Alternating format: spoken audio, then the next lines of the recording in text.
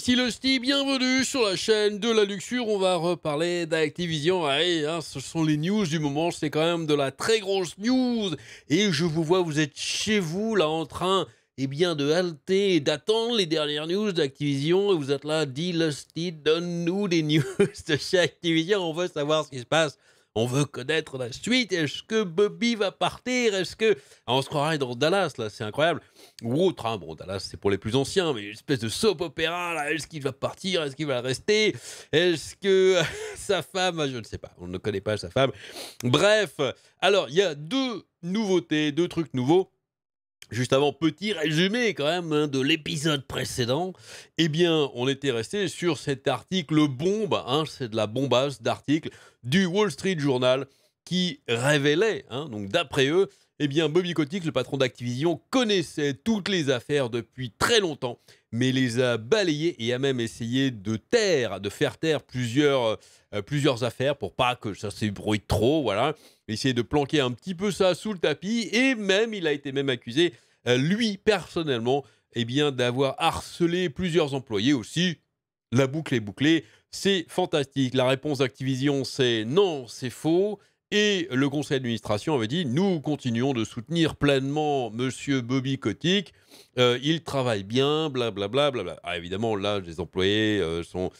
Plusieurs employés sont partis en grève. Bref, ça a fait quand même pas mal de vagues. Voilà. Et après, peu après, de temps, peu après ces révélations, pardon, eh bien, nous avons eu deux gros mastodontes hein, du jeu vidéo que sont euh, Sony avec Jim Ryan, qui est le président de Sony euh, Interactive Entertainment, et euh, donc le président de Xbox, Phil Spencer, qui tous deux se sont dit non mais là ça va pas. Là Activision faites quelque chose parce que nous sinon si ça continue comme ça, eh bien si rien ne se passe, on va revoir un petit peu notre collaboration avec vous. Donc, ils ont fait, ils ont tapé du poing sur la table. Alors, c'est pas du gros poing, hein, c'est de la, de petite main de nourrisson sur la table, mais mais c'est il faut noter que c'est quand même exceptionnel. Ça euh, arrive. Je n'ai pas de mémoire euh, de mémoire de Lusty. Je pense pas que ça soit arrivé que les deux gros comme ça euh, de, consoles en fait, hein, de fabricants de consoles, se déclarent absolument eh bien indignés ou utilisez le mot que vous voulez par rapport à une entreprise de jeux vidéo et se disent prêts eh bien à faire prendre des mesures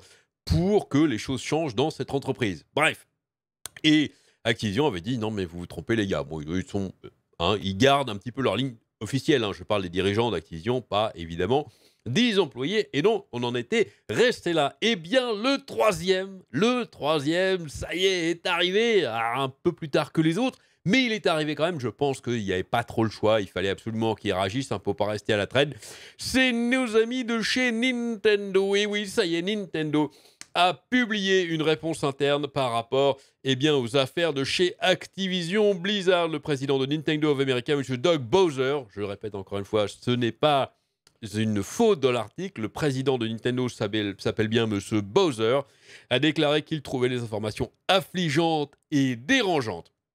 La semaine dernière, un rapport explosif du Wall Street Journal a détaillé les manières dont le PDG d'Activision Blizzard, Bobby Kotick, est à la fois intervenu pour protéger les agresseurs de l'entreprise et aurait agi lui-même comme tel. Cela a incité ce média à exiger sa démission et celle de l'équipe dirigeante qui le protégeait. Cela a également incité les partenaires de longue date d'Activision, les détenteurs de plateformes PlayStation et Xbox, à envoyer également des missives internes aux employés exprimant leur inquiétude concernant le comportement de Bobby Kotick et les poursuites pour harcèlement en cours contre Activision. Bien que ces deux emails aient été divulgué au public. Bon, ça, il fallait s'en douter, hein. je pense qu'ils s'en doutent. Hein. Quand ils envoient un email comme ça à tous les employés, ils se doutent bien que ça va fuiter, ils le savent pertinemment, mais ils peuvent pas faire, je pense que c'est, ils peuvent pas faire vraiment de déclaration publique. Comme ça, ils peuvent se cacher, dire oui, non, mais c'était juste pour nos employés, mais ils savent très bien que ça va arriver sur la place publique. Hein. Ils font rien au hasard. Voilà. Bien que ces deux emails aient été divulgués au public, aucune réponse de Nintendo n'avait franchi ces murs fortifiés jusqu'à présent, car Fanbit a reçu la réponse interne de la société d'une source vérifiée. Un email envoyé par le président de Nintendo of America, Doug Bowser, envoyé le vendredi 19 novembre, traite du rapport Activision Blizzard. L'email a été envoyé à tous les niveaux de Nintendo of America, y compris les maisons de développement interne comme Retro Studio et les Next Level Games nouvellement acquis avec vous tous, dit-il, Hein, c'est Bowser qui parle là. Avec vous tous, je ne sais pas faire la voix de Bowser, donc je vais prendre ma voix normale. hein. Avec vous tous, j'ai suivi les derniers développements avec Activision Blizzard et les rapports en cours de harcèlement sexuel et de toxicité dans l'entreprise. Je trouve ces récits angoissants et dérangeants. Ils vont à l'encontre de mes valeurs ainsi que des croyances, des valeurs et des politiques de Nintendo. Bon, euh, on sent en fait, on sent quand même une petite pointe de peur dans, dans je- J'ose, j'ose euh, donner cette interprétation en disant bon, euh, ce qui se passe chez Activision là, nous, on n'a vraiment pas envie que ça se passe chez nous. Donc, direct, je mets le petit mur de non, non, mais chez nous, euh, tout va bien, je suis contre, ce n'est pas mes valeurs, euh, donc si vous avez des problèmes, n'hésitez pas, blabla. Parce qu'il se, il se doute bien que si jamais, euh, bon, chez Activision, là, c'est quand même une masse d'employés qui se sont plaints, mais si jamais chez euh, Nintendo, Sony ou Xbox, il y avait une personne, une employée qui se plaignait de ça, Là, c'est la shitstorm directe, c'est euh, ils s'en prennent plein, donc euh, ils vont évidemment au devant des problèmes. Bon.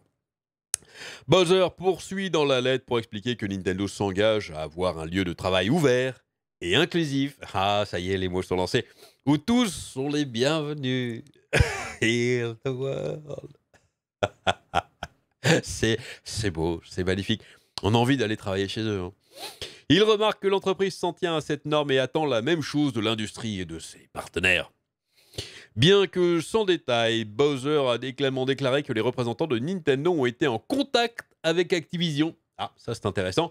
Ont pris des mesures et évaluent les autres.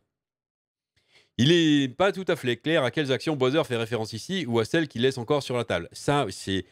Oui, en gros, euh, ils n'ont rien fait, quoi. Euh, on a fait des trucs. Ah, on a pris des mesures. Alors, prendre des mesures, c'est, je pense, envoyer peut-être un courrier à Activision, un email à Activision en disant Bon, euh, hein, bon, voilà, maintenant ça suffit. Hein, arrêtez.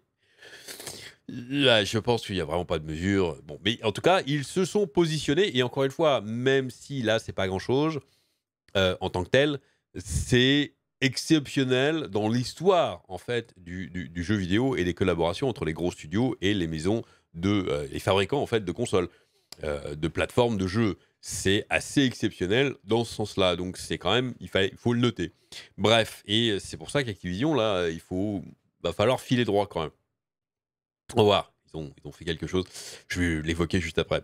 Il mentionne, il mentionne pardon, cependant, cependant l'ESA, une organisation de lobbying dont Nintendo et Activision Blizzard sont membres. Bowser a déclaré que Nintendo travaillait avec l'ESA depuis au moins la semaine dernière pour renforcer ses positions sur le harcèlement et les abus sur le lieu de travail, ainsi que l'ESA pour maintenir ses membres au plus haut niveau. Chaque entreprise, dit-il, du secteur doit créer un environnement où tout le monde est respecté et traité sur un pied d'égalité et où tous comprennent les conséquences de ne pas le faire. En fait, c'est juste ça. hein. Ça sert à rien de dire qu'il c'est inclusif ou c'est ce que vous voulez. Euh, où tout le monde est respecté. Point. On En fait, les, les déclarations devraient s'arrêter là. On respecte tous les employés. Point barre. C'est comme ça. C'est tout. C'est tout ce qu'il faut dire. hein.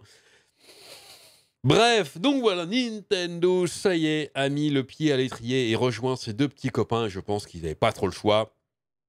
Donc c'était euh, c'était naturel qu'ils le fassent. Et on verra. hein. Je ne pense pas pour l'instant qu'il y ait des suites.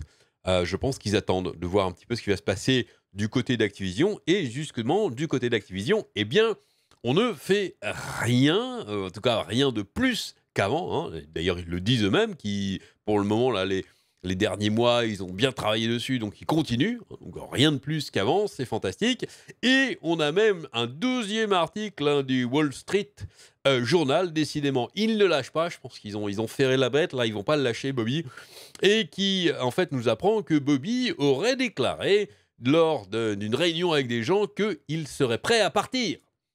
Alors là, vous dites, ah, victoire, ça y est, il évoque. le- Ouais, attendez, attendez. Il y a une petite nuance. Hein il y a une petite nuance, c'est-à-dire que il dit à ses collègues qu'il envisagerait de partir, gros conditionnel, s'il ne peut pas résoudre rapidement les problèmes.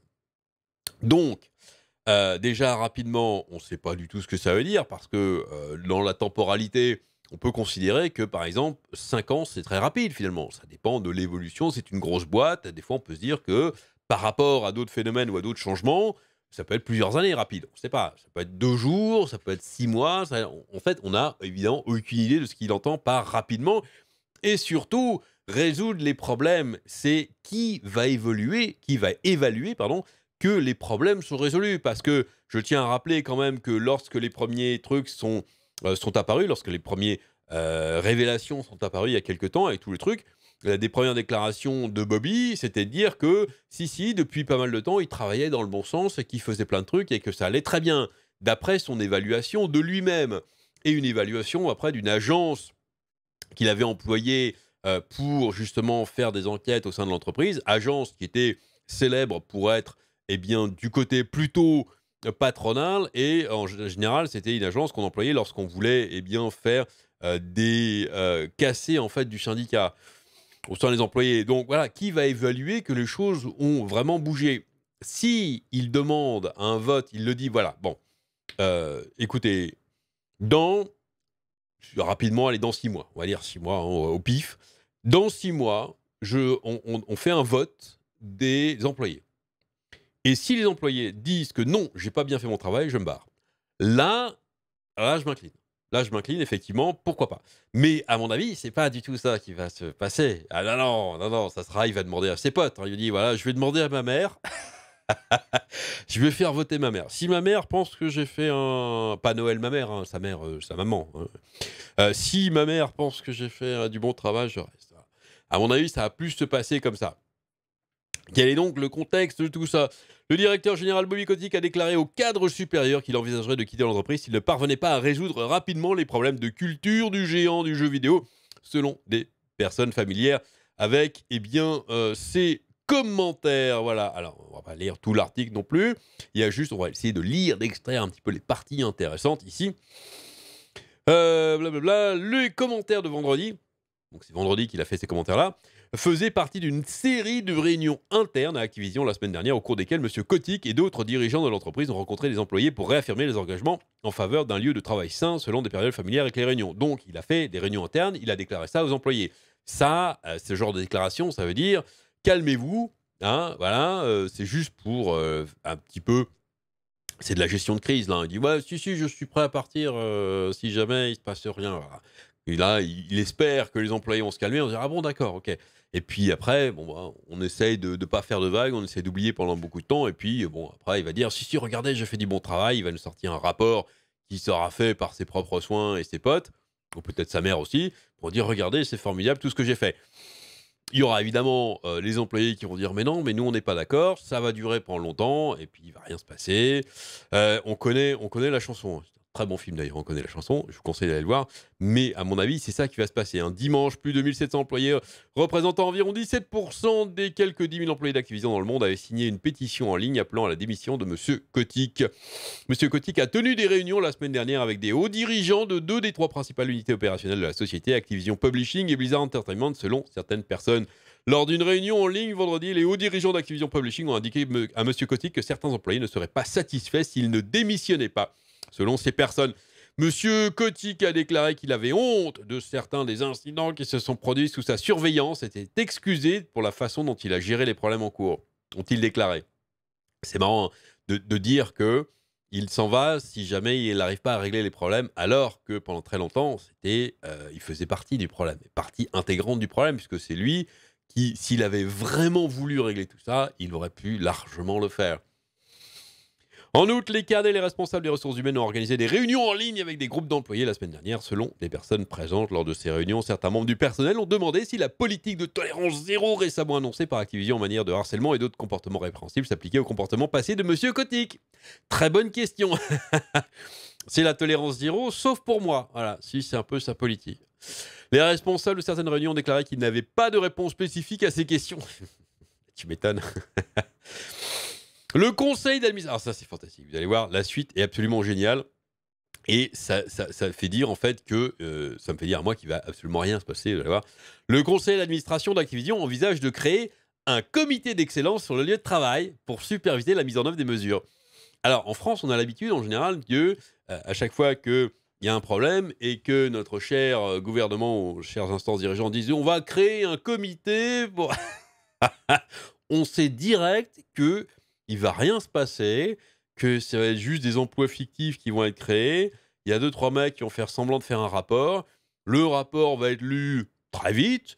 Après, il va rejoindre une étagère et on oublie, c'est bon, on a fait un comité. c'est le conseil d'administration a soutenu M. Kotick, déclarant mardi qu'il reste convaincu que Bobby a traité de manière appropriée les problèmes liés au lieu de travail portés à son attention.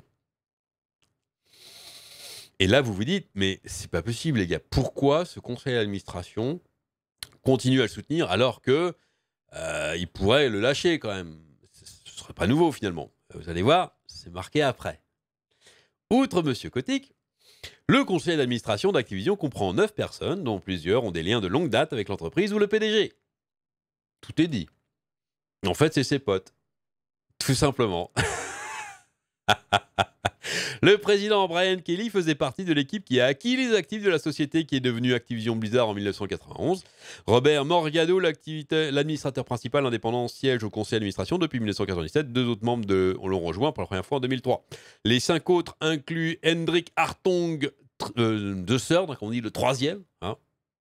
un ancien responsable marketing d'Activision. Revetta Bowers, directrice de longue date d'une école privée fréquentée par les enfants de Monsieur Kotick.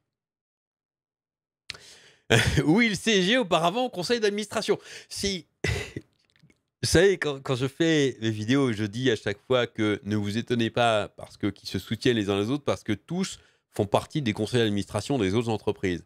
Il y en a un qui est dirigeant d'une entreprise et siège au conseil d'administration des entreprises. Et du coup, ils se soutiennent tous les uns les autres. Et voilà. Là. Hein.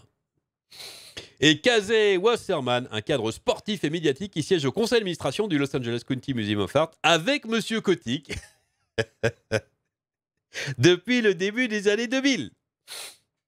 Est-ce qu'il faut en dire plus?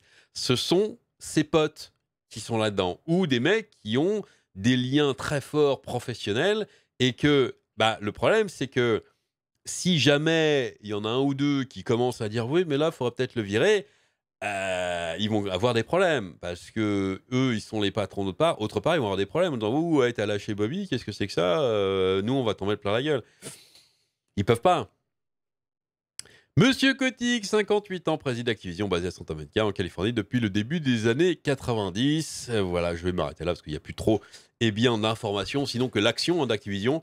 J'ai dit qu'il fallait attendre pour voir s'il y avait une baisse continue. Eh bien, elle continue de baisser, visiblement.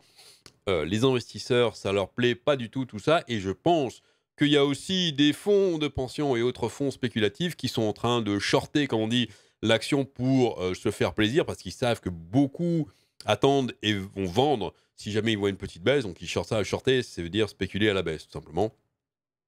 Ce que j'avais expliqué dans une de mes anciennes vidéos sur GameStop, en disant que vous pouviez vendre des actions même si vous ne les aviez pas. Vous les vendez, puis vous les rachetez derrière, et si l'action baisse, vous avez fait un profit, c'est ça. Donc là, à mon avis, ils sont en train de bien commencer dessus et de bien leur mettre sur la tronche. Bon, il faire de l'argent, hein, ça arrive, c'est comme ça. Ah, voilà, voilà, on a toute l'explication de ça. Donc, euh, on verra bien. Euh, moi, pour moi, Bobby, ce qu'ils sont en train de, faire, c'est la politique de l'enlisement. Hein. C'est-à-dire qu'il veut, le point mort, il veut qu'on l'oublie. Et puis après, dans, dans, quelques temps, il va nous prendre un rapport comme quoi il a fait un travail formidable. On verra, on verra bien ce qui va se passer. Évidemment, je vous tiendrai au courant. C'est tout ce que j'ai là-dessus pour aujourd'hui. Dites-moi ce que vous en pensez dans les commentaires. Amusez-vous bien. Et à très bientôt.